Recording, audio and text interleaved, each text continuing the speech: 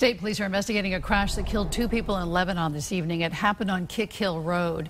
The two died. Another is in serious condition. Police have not released any names at this hour. The road was closed for a time. It has now reopened.